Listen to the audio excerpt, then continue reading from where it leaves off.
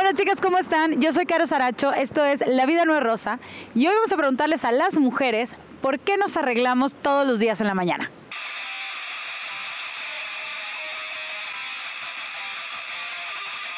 Porque, bueno, arreglada pues se siente uno bien, o sea, más que nada es por eso. Porque me gusta. Pues para verme bien, para verme bonita. Me gusta arreglarme, me gusta cuidarme. Para no verme enferma ni nada, para verme bien en la escuela. Para levantarme el ánimo, para salir a trabajar. Pues para verme bien. Pues para ir presentable al trabajo. Bueno, los seres humanos en general hemos utilizado maquillaje desde hace 3.500 años. Desde los egipcios, desde Cleopatra, ya se utilizaban todos estos elementos para exaltar nuestras facciones y resaltar algunas cosas. Por un tema de selección natural, las mujeres que tenían los labios más rojos y las caderas más anchas eran más atractivas al sexo opuesto.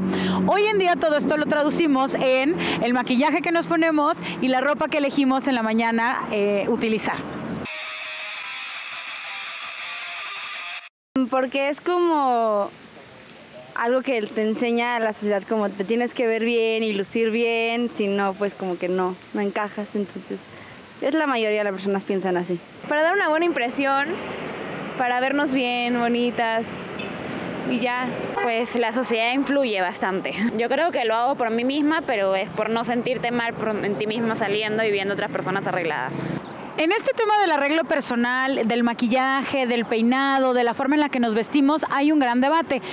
Hay dos corrientes. Las personas que piensan que nos arreglamos y nos ponemos eh, todos estos elementos que nos agregamos para sentirnos más bonitas, por confianza en nosotras mismas. Y hay toda una corriente que piensa que lo hacemos por darle gusto a las demás personas en un tema como muy influenciado por la sociedad.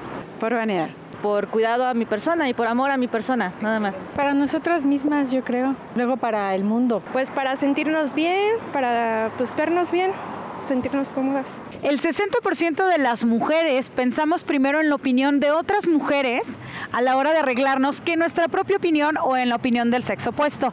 Al 22% de las mujeres ni siquiera les importa lo que opinan los hombres sobre cómo se ven. Lo que es curioso es que según el Journal of Experimental Psychology, a los hombres les gustamos las mujeres sin maquillaje.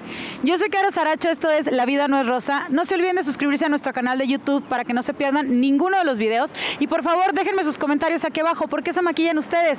¿Para quién se arreglan? Nos vemos la próxima.